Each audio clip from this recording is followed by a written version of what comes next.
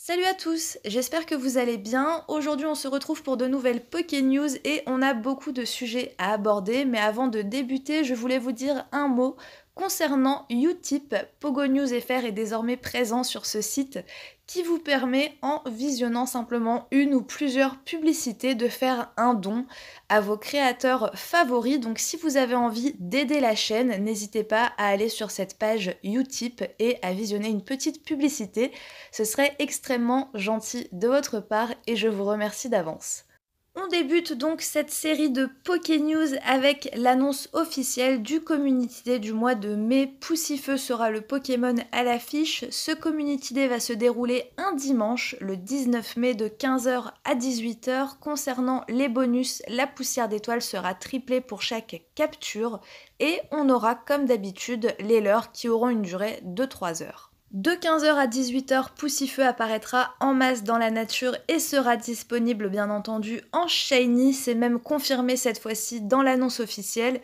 Et on aura jusqu'à 19h pour évoluer nos galifeux et avoir ainsi un bras égali avec l'attaque exclusive qui n'a pas encore été révélée pour le moment. Actuellement, c'est le Festival des œufs. Cet événement prendra fin le mardi 23 avril à 22h avec ses bonus qui sont assez appréciables. On le savait, Niantic nous l'avait annoncé qu'il y aurait des Pokémon inhabituels présents dans les œufs. Et eh bien, ils nous ont tout simplement mis tous les bébés dans les œufs de 2 km.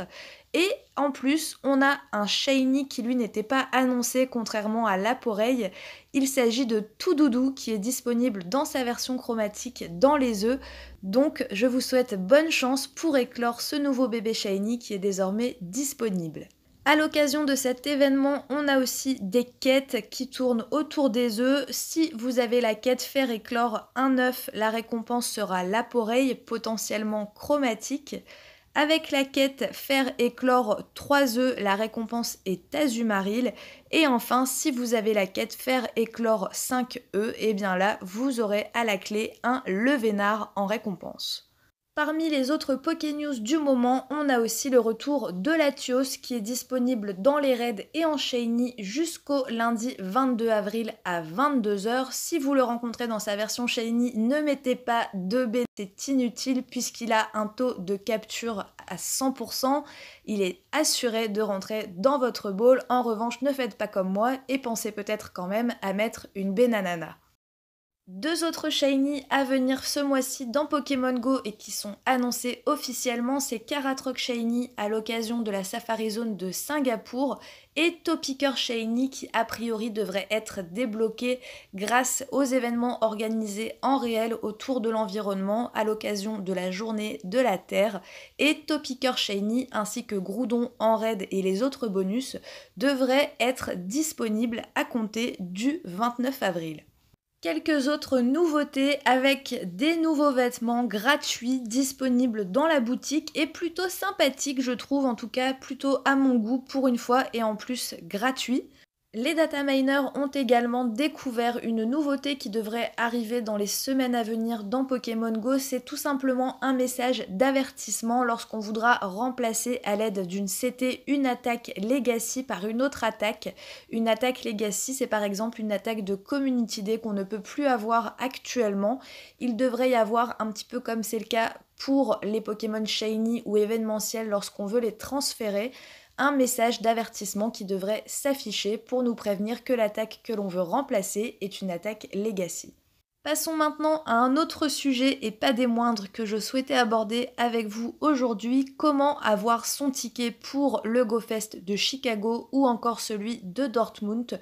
Niantic a annoncé un changement dans son système de réservation de billets puisque cela va se faire désormais directement par le biais de l'application au sein même de Pokémon Go grâce à un nouvel onglet qui va apparaître dans les jours à venir qui est peut-être même déjà là au moment où vous visionnez cette vidéo.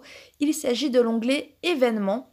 Le 22 avril, lorsque cela va être ouvert pour le GoFest de Chicago, il va être possible de cliquer sur l'événement et ainsi de prendre part à une loterie et éventuellement d'être tiré au sort pour avoir le droit d'acheter un ou plusieurs billets pour le GoFest de Chicago. Niantic a expliqué faire cela pour donner une chance plus équitable aux dresseurs puisque tout le monde doit passer par le tirage au sort avant d'avoir la possibilité d'acheter un billet. Dès lors que nous sommes tirés au sort, Niantic nous envoie un email et nous avons très précisément apparemment 48 heures pour acheter les billets. Et si au bout de 48 heures, nous n'avons pas donné suite à leur email, si nous n'avons pas acheté les tickets, eh bien notre place est remise en jeu et il y aura ainsi plusieurs vagues de tirage au sort jusqu'à ce que tous les tickets soient attribués. Niantic organise également un concours qui peut vous permettre de gagner vos tickets pour le GoFest de votre choix. Il s'agit d'un concours photo qui se déroule par le biais d'Instagram et de Twitter. Il y a trois phases concernant ce concours photo. Tout d'abord, le premier défi consiste à prendre en photo votre Pokémon copain et ensuite à poster votre photo entre le 15 et le 24 avril sur Twitter ou Instagram avec le bon hashtag. Le deuxième défi consiste à prendre un Pokémon en photo a priori dans son habitat naturel. Et enfin le troisième défi, c'est Création Go. Et là, Niantic vous propose de laisser libre cours à votre créativité et à votre imagination pour poster la meilleure photo en RA et peut-être remporter vos places pour l'événement Pokémon Go de votre choix et également un Pokéstop personnalisé qui sera actif pendant 3 mois. Voilà, je pense en avoir fini pour aujourd'hui et vous avoir donné toutes les informations dont je souhaitais vous parler concernant l'actualité de Pokémon Go. Je vous souhaite bonne chance dans votre chasse au Shiny, dans votre chasse au 100% d'IV ou dans quoi que ce soit qui vous motive à jouer à Pokémon Go.